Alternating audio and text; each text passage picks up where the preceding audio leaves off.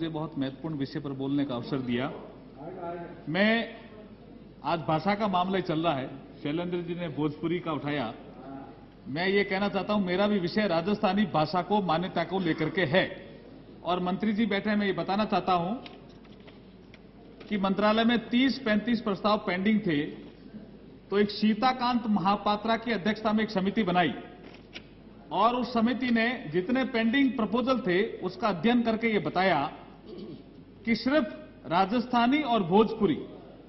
दो ऐसी भाषाएँ हैं जो मान्यता की पात्रता रखती है। और उसके बाद 2006 में इसी हाउस में गृह राज्य मंत्री ने आश्वासन दिया कि हम इसी सत्र में भोजपुरी और राजस्थानी को मान्यता के लिए प्रस्ताव ले आएँगे, बिल ले आएँगे।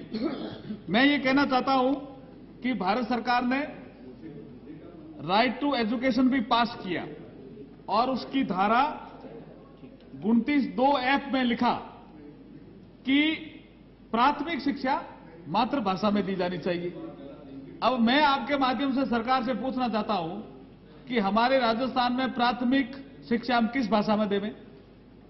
आपने राइट टू एजुकेशन पास किया और जो मान्यता प्राप्त पात्रता रखने वाली भाषाएँ हैं, उनको संविधान की आठवीं सूची में सम्मिलित नहीं किया और हम कोई छोटे मोटे प्रदेश से नहीं आ रहे हैं।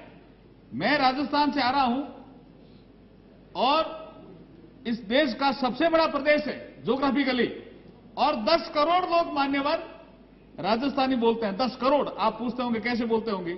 6 करोड़ तो हम राजस्थान में हैं, एक करोड़ हम बंगाल और सेवन सिस्टर में हैं, एक करोड़ हम शेष भारत में हैं। नहीं नहीं नहीं, एक करोड़ और एक करोड़ हम विदेश में हैं, जहाँ अमेरिका ने दी है मान्यता। मैं यही कहना चाह रहा हूँ, और एक करोड़ हम पाकिस्तान में जो राजस्थानी भाषा बोलते हैं। मैं ये विषय अभी इसलिए लाया हूँ कि 24 जून 2011 को अमेरिका के राष्ट्रपति ने व्हाइट हाउस के प्रेसिडेंशियल अपॉइंटमेंट की प्रक्रिया में राजस्थानी भाषा को अंतर्राष्ट्रीय भाषा के रूप में मान्यता दे दी।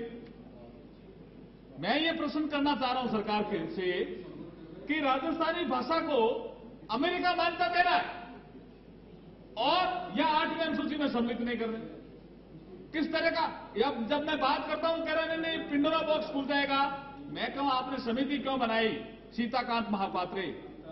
और उस महापात्रा ने यही कहा कि दो भाषाएँ जो भोजपुरी और राजस्थानी ये मान्यता के लिए पात्रता रखती हैं। तो फिर इसमें मान्यता देने में दिक्कत कहाँ आ रही है?